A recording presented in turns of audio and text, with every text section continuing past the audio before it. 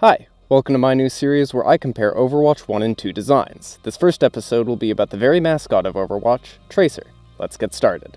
Being the mascot, Tracer has a very iconic design. She has bright yellow and orange running leggings that draw attention to her legs as she's a very mobile character, worn down and kind of muddied up shoes to show that they've been used quite a bit, goggles to protect her eyes, and a pilot's or bomber's jacket to allude to the fact that she used to be a pilot.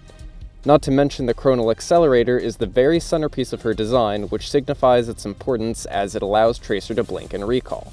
The design gets the message across of what she as a character and her abilities are about, while also staying within the realm of believability that this may actually be something someone would wear within the Overwatch universe. Overall, it's a fantastic, iconic design. Overwatch 2, on the other hand, has a sleeker look to it overall.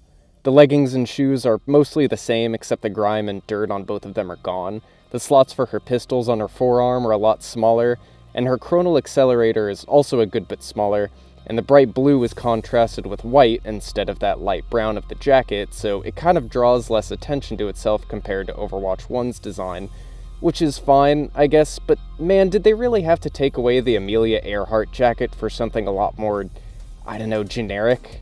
Not to say that her Overwatch 2 design is bad or anything, because really it follows basically the same design formula as the first skin, but it feels like to me that a lot of Tracer's personality was lost in the transition to 2 in exchange for making her design sleeker, which isn't a fair trade, in my opinion. Overall, I definitely prefer the Overwatch 1 design. Don't forget to subscribe if you want to see more of my content. More videos in this series will be soon to come.